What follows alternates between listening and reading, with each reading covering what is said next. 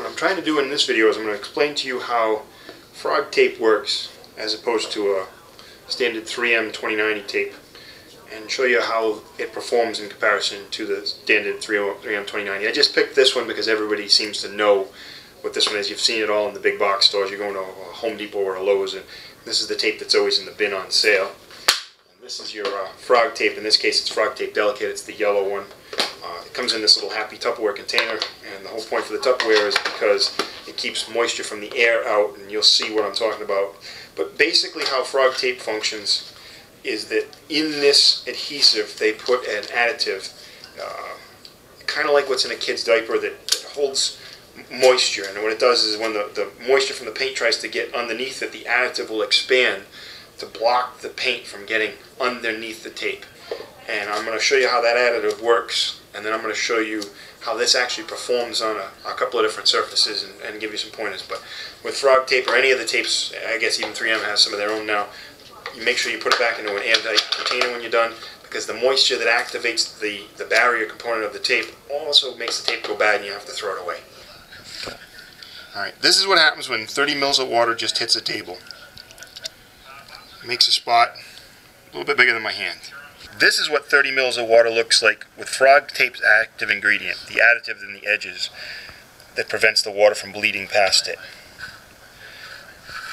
It just will continue to absorb the moisture, much like a diaper, and prevent it from sneaking around the edges.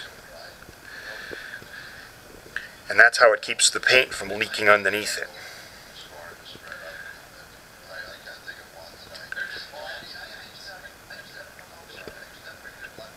the weight of the water is a little bit more than it's intended to, but you can see what's happening. And at the end of it, you can see it's a lot smaller than the last pile was. That's how frog tape works. It keeps the water from getting underneath the regular tape by expanding and sealing up any voids in the, the surface.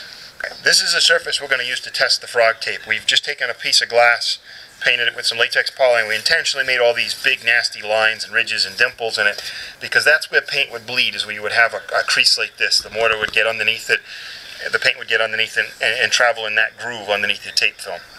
So we're going to lay this down. I'm going to make some, put some tape on here and we're going to see how the frog tape compares to the regular tape. So what we've got here is uh, 3M's 2090 series inch and a half blue tape. Most people probably use this one. Uh, and we have frog tape delicate in an inch and a half and we're going to put them on that, that textured surface that we've got across some of the bigger bumps just so that we can, uh,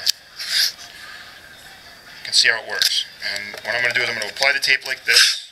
I'm not pushing it down yet. I'm going to use a standard 3 inch roller so that I can apply fairly even pressure to all areas and not favor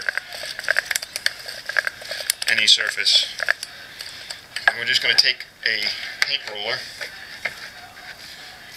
put some paint on it, and try to see if it bleeds through one surface to the other. We're not looking for technique here, we're looking to see if it works. Oh, on this product, you can see it. It's bled through, and on this one you can see how crystal clear the line is. On the, on the yellow tape, but on the blue tape, especially right over here, you can see how it's actually bled right underneath the surface. And that's how frog tape works. It the, the expands and seals out like a gasket so that your paint can't get underneath the edge. Take it off. You'll see how yucky the 3M edge looks and how sharp the frog tape edge looks. It's not that the frog, the uh, 3M tape's bad tape. It just doesn't have that same edge lock material in it paint block they call it. That's their proprietary name.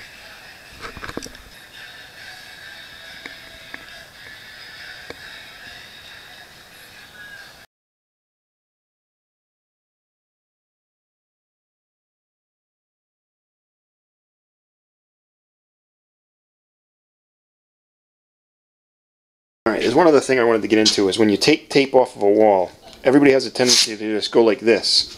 And what happens when you do that is you can do stuff like this right here where you peel the paint off of the wall and that'll happen whether you're using that tape or that kind of tape. What you should always do is you should take the tape and pull it away from at a 90 degree angle like this And what that does is it almost acts like a scissor. It cuts it away so that there's no adhesion and it doesn't tend to lift up your, your surface.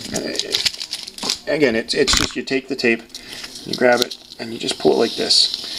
And you go slow and steady and gentle, and you don't tend to lift up the paint like you would. Just a small hint.